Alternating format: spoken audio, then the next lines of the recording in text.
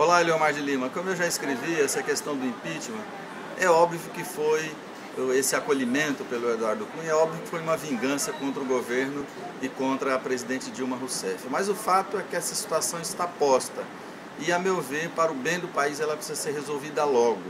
E logo significa que o Congresso deveria suspender o recesso que vai fazer agora e decidir essa questão, ou por para um lado ou para o outro. O que não pode é o país viver em suspenso, esperando o resultado disso. E aí a, gente vai ver né, quem é que está a favor de resolver isso logo, que eu acho que faz um bem para o país, ou aqueles que querem retardar essa situação para tirar dividendos políticos. Nessa questão, eu acho que não tem a oposição ou situação. Acho que tem aqueles que querem resolver logo o problema para o país poder tocar a vida para frente e aqueles que querem retardá-lo para tirar maus dividendos políticos da situação.